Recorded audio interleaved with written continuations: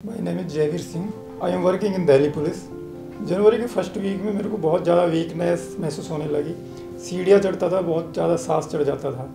ज़्यादा पहले मैं वॉकिंग करता था, बहुत एक्सरसाइज करता था, लेकिन अब नहीं कर पा रहा था। थोड़ा सा चलता था, तभी मेरे को बहुत तेज़ सांस चढ़ जाती थी। उन्हें जनवरी से बार बार शरीर में खून की कमी हो रही थी।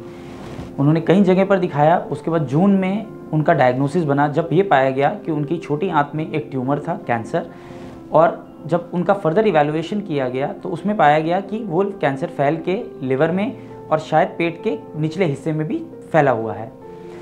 इनकी सारी बीमारी को देखते हुए डॉक्टर सज्जन राजपुरोहित द्वारा उनकी कीमोथेरेपी की गई मैक्स हॉस्पिटल वैशाली में, जिससे उनको काफ़ी तबीयत में आराम हुआ ब्लीडिंग रुक गई और आगे ब्लड की ट्रांसफ्यूजन की ज़रूरत नहीं पड़ी।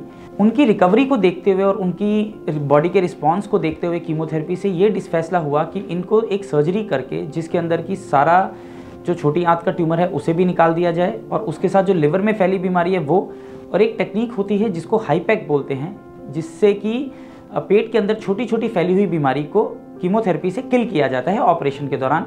ये एक नई तकनीक है जिसको डिसाइड हुआ कि इनमें यूज़ करके इनको फ़ायदा हो सकता है। पूरी सर्जरी होने के बाद डॉक्टर साहब से बात हुई मेरे डॉक्टर साहब ने कहा सर्जरी सर्जरी आपकी बहुत सक्सेसफुल हुई है जहाँ जहाँ था वो हमने निकाल दिया है कोई दिक्कत नहीं आएगी।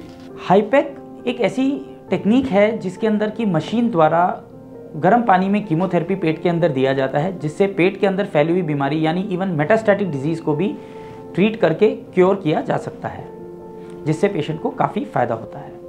कुछ समय बाद मैं फिर से अपनी ड्यूटी ज्वाइन करूँगा और जैसा पहले था उसी तरह से परफॉर्म करूँगा अपनी ड्यूटी कोविड टाइम में साफ़ सफ़ाई की कोई दिक्कत नहीं थी बहुत बढ़िया साफ़ सफ़ाई रही और नीचे सैनिटाइजर वगैरह वेरीफाई वगैरह लगे हुए हैं सारा हॉस्पिटल में सिस्टम जो बिल्कुल वो है। दूसरा खुद को अपने आप को मास्क वगैरह का इस्तेमाल करते हुए हम तो हमने हॉस्पिटल आने में हमें डर नहीं लगा मैक्स में तो। Service is very good Max hospital वैसा।